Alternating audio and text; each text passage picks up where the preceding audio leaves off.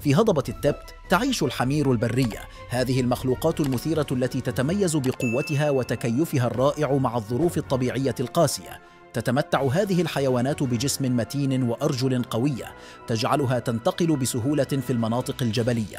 يعود تكيفها مع البيئة الجغرافية والمناخ البارد إلى شعرها الكثيف الذي يوفر لها حماية من البرودة. تتحدى الحمير البرية الظروف القاسية بشجاعة ولديها قدرة مذهلة على التكيف مع الحياة في هضبة التبت. يرجع ذلك إلى قوة عضلاتها وقدرتها على الركض والتحرك بسرعة في التضاريس الوعرة. بالإضافة إلى ذلك فإن حواسها القوية تجعلها قادرة على اكتشاف وجود الحيوانات المفترسة مما يجعلها قادرة على مواجهة التحديات بفعالية. تتميز هذه الحيوانات بطبيعتها الاجتماعية والتعاونية. مما يجعلها قوية في مواجهة الذئاب وغيرها من المفترسات. إن تكيفها المذهل مع الظروف البيئية القاسية يعكس مدى قوتها وقدرتها على الصمود في مواجهة التحديات.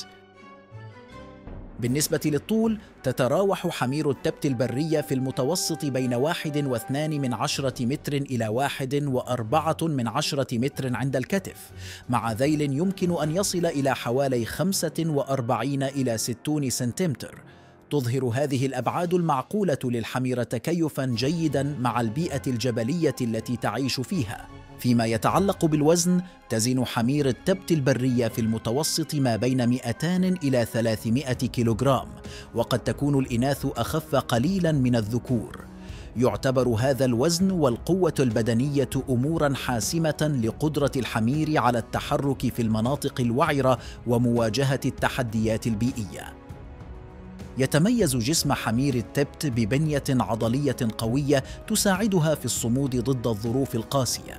تمتاز أرجلها بالقوة والمتانة مما يجعلها قادرة على التنقل بسهولة في التضاريس الجبلية الوعرة. يلعب شعرها الكثيف والمتين دورا هاما في حمايتها من البرودة المفرطة في المناطق العالية. علاوة على ذلك تتمتع حمير التبت بشخصية قوية وسلوك مستقل. تتكيف مع محيطها بشكل متقن وتظهر ردود فعل ذكية في مواجهة التحديات.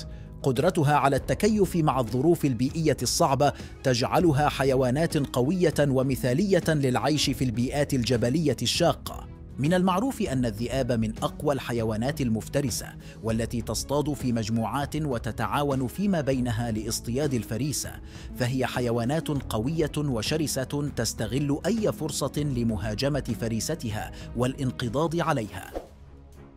في هذا المقطع نشاهد لحظات استثنائية لسلوك الذئاب، الحيوانات المفترسة القوية والمنظمة. يتميز الفيديو بتصوير فريد لسلوك الذئاب أثناء اصطيادها والتعاون فيما بينها لتحقيق الهدف المشترك. تظهر الذئاب في عمل جماعي مذهل، حيث يتم التنسيق فيما بينها ببراعة لمهاجمة فريستها بشكل فعال. يظهر الفيديو استراتيجيات الصيد المتقدمة التي تمكن الذئاب من التفاعل بشكل منظم والعمل كفريق واحد للسيطرة على الفريسة. شاهدوا كيف استطاع أحد الذئاب الإمساك بأحد الحمير البرية ولكن قوة الحمار جعلته يفلت من موت محقق. في هذا الفيديو المثير نشاهد لحظات مثيرة من مواجهة حمار بري وذئبين يحاولان مطاردته. وخلال المطاردة يظهر الحمار برشاقته وقوته في التحرك عبر الطبيعة الوعرة.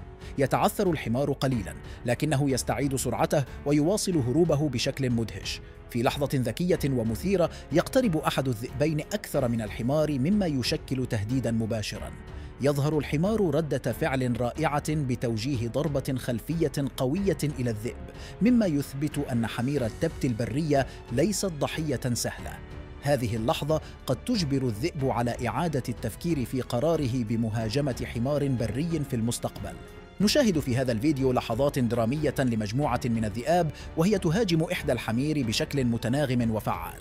يتميز الفيديو بتسجيل لحظات مثيرة حيث يقوم الذئب بالانقضاض على الحمار والمحاولة الشرسة للإمساك به.